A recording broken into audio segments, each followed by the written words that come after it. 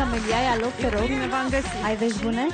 Am vești bune pentru această săptămână. Suntem invitați să ne purtăm de grijă, să avem spirit de familie, mai azi la mijlocul săptămânii. Mâine este o zi uh, specială pentru că exact pe la ora 16 luna trece din Gemeni în RAC. Dacă la începutul zilei suntem mai activi și e bine să ne programăm întâlnirile, contactele, discuțiile, negocierile în prima parte a zilei, pentru că după ora 16 avem nevoie de timp pentru a înțelege ce s-a întâmplat, pentru a decanta, pentru a ne gândi mai mult la noi și e nevoie de mai multă liniște, tihnă și pace.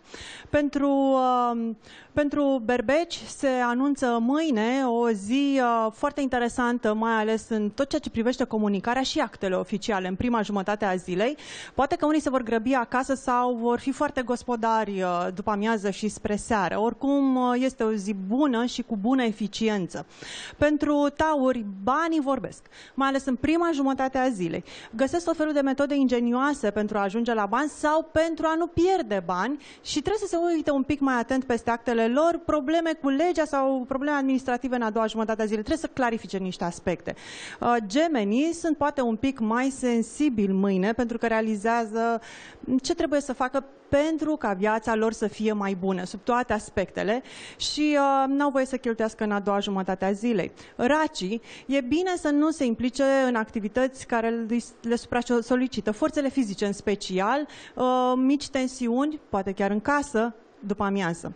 Leii, foarte sociabili, foarte bune proiecte, foarte bună propagare a activităților, mai ales cei care se ocupă de marketing sau pun accentul pe propagandă, e, au rezultate în prima parte a zilei, atenție la sănătate după amiază. Pentru fecioare excepțional în carieră sau în toate activitățile pe care le desfășoară, atenție la un prieten însă spre seară, poate există și mici dezamăgiri.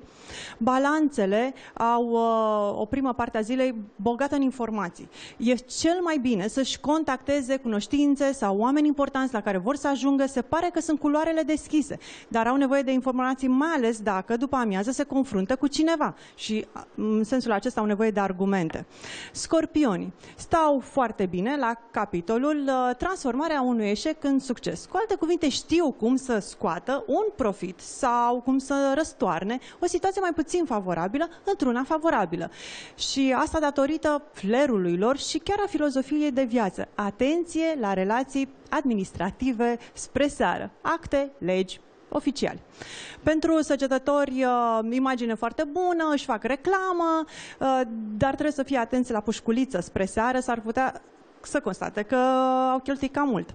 Capricornii foarte eficienți în muncă, datorită inteligenței lor și poate genului lor tehnic. Trebuie să inoveze ceva ca lucrurile să meargă foarte bine, să nu fie surprinși dacă toată lumea le înțelege ideile și poate mici conflicte cu partenerul de viață spre seară. Uh, vărsătorii sunt foarte ingenioși și în general nu prea lucrează după program. Mai disciplinați sunt spre seară, așa că după amiază poate că de fapt își vor bifa toate sarcinile. Pentru pești uh, își pun ordine în viață, și organizează foarte bine activitățile, știu foarte bine ce este valoros în viața lor, care sunt aturile lor și vor profita la maximul de lucrul acesta, poate abia după amiază când există întâlniri foarte bune pentru ei. Mulțumim, Camelia, ne vedem și mâine.